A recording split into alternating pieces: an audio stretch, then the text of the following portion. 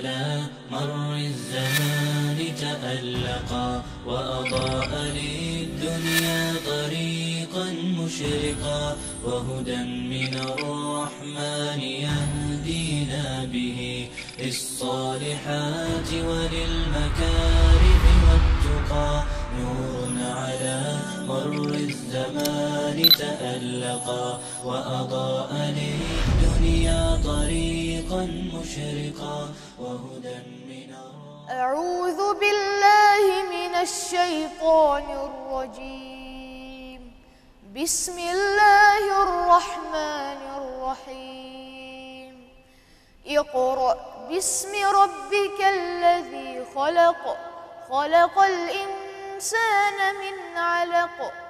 اقرأ وربك الأكرم الذي علم بالقلم علم الإنسان ما لم يعلم Bismillah, alhamdulillah, wassalatu wassalamu ala rasulillah. Jedan čovjek je imao uspješan brak. Živio je sa ženom koju je volio i koju je cijenio i koja ga je cijenila. Imali su lijepu, finu djecu. Bili su uspješni u poslu koji su zajedno vodili. Naime, oni su se bavili uvozom i izvozom roba. Bili su ugledni u svom narodu.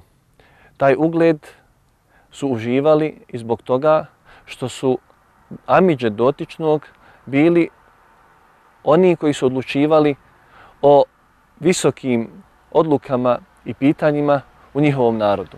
Nakon 15 godina uspješnog braka, ovaj čovjek odlučuje da se malo osamljuje. Odlazi na brdo, obližnje brdo kod grada, gdje će naći jednu pećinu, gdje će onako boraviti sam. To čini sve češće i češće.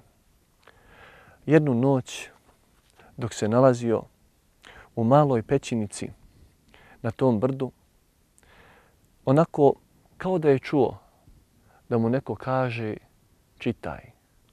Iako je bio imućan i ugledan, bio je nepismen. Kaže, ne znam čitati.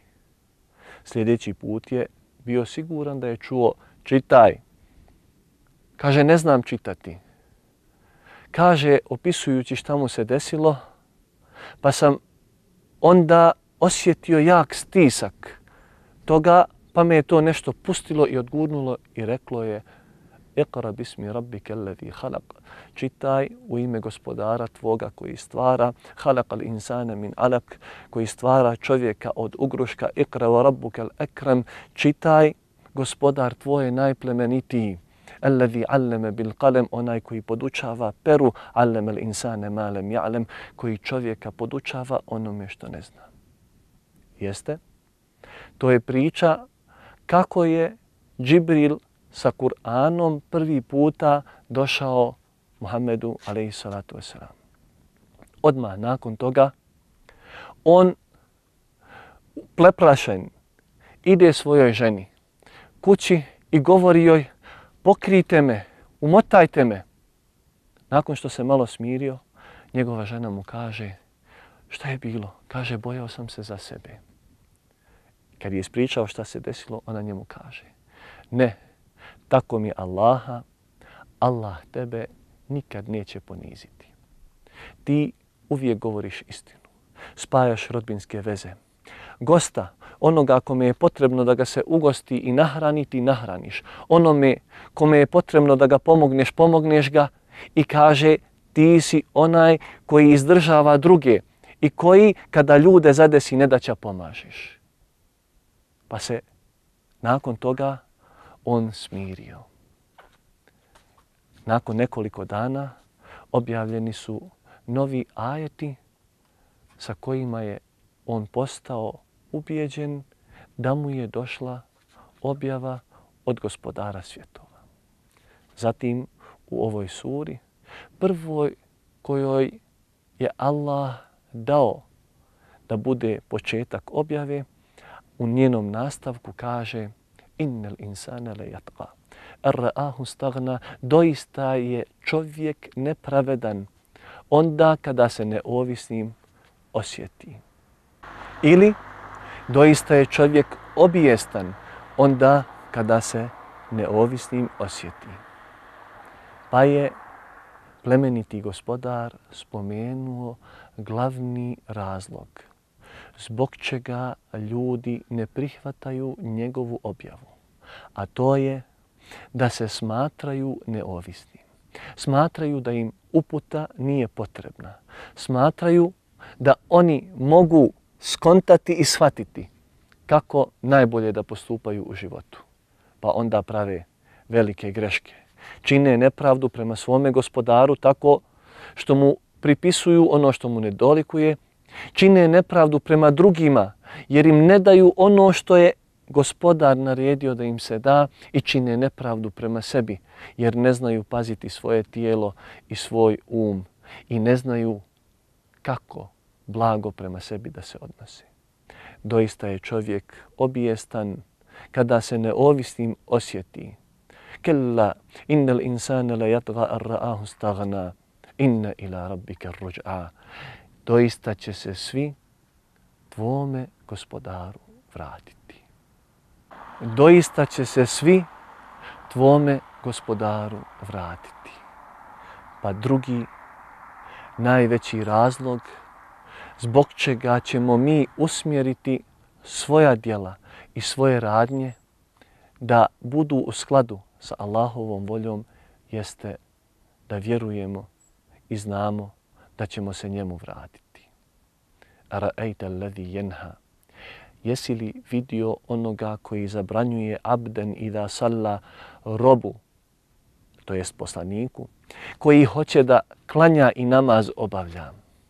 Pa je nakon što je spomenuo povratak njemu, spomenuo da će na putu tog povratka Allahu postojati ljudi koji će se ispriječiti na tom putu, koji će zabranjivati, koji će udaljavati od toga da se gospodar kako treba obožava. Jesi li ti vidio onoga koji zabranjuje robu, onome kojem vjeruje, u Allaha da njegovog gospodara, da svog gospodara obožava. Ovi ajeti objavljeni su, kako bilježi ima muslim u svom sahihu, kada je Ebu Džehl, taj osorni, kada je Ebu Džehl, taj nasilnik, htio fizički da neutrališe Allahovog poslanika, ali i salatu selam. Naime, jedne prilike Allahov poslanik alejhi salatu vesselam u Mekki klanjao je pored Kabe zajedno sa svojim drugom Ebu Bekrom. U tome Ebu Bekr je primijetio kako s daljine dolazi Ebu Džehel. Na pokretima je primijetio da dolazi sa lošom namjerom. Kada se približio na metar ili nekoliko koraka od poslanika, alaihi salatu wasalam, ustuknuo je i nekako zabrinut se vratio skupini koja je očekivala da on udari ili nešto žešći od toga učini Allahovog poslaniku sallallahu alaihi wasallam. Kada se Ebu Džehel vratio toj skupini, vidjeli su kao da je preblijedio i pitali su ga šta je bilo. Kaže, Boga mi, vidio sam između sebe i Muhammeda jedan rov pun vatre. A u drugom predanju stoji da je vidio kamilu koja je krenula da ga ujede. Pa sam se prepao i vratio sam se. Vidiš li ti i znaš li onoga koji zabranjuje robu Allahovom da Allaha obožava? Kako Allah čuva svoje robove koji su iskreni prema njemu i kako ih zaštiti nekim, što bi mi rekli, nesvatljivim zaštitama. Načinima koje mi ne možemo objasniti ovim sadašnjim prirodnim ili ti fizičkim zakonima. A zatim u posljednjem ajetu ove sure plemeniti gospodar kaže wasjud okterib. seđudu čini i svome gospodaru se nastoji približiti. Allah je otpočeo ovu suru sa čitaj. Nije spomenuo šta, a misli se čitaj Kur'an zato što je objavio suru iza nje koja glasi inna enzelnahu fi lejletil qadr. Mi smo ga doista objavili, to jest Kur'an, u noći kadra. A završio je suru sa wasjud waqtarib. Seđdu čini i nastoji se svome gospodaru približiti. Pa je spomenuo dvije stvari u ovoj suri sa kojom je počela objava. Spomenuo je uzvišeni gospodar da čovjek čita Kur'an, što je najljepši govor koji čovjek može izgovoriti i spomenuo je na kraju najljepše dijelo koje čovjek može uraditi, a to jeste seđda plemenitom gospodaru. نور على مر الزمان تألقا وأضاء للدنيا طريقا مشرقا وهدى من الرحمن يهدينا به للصالحات وللمكارم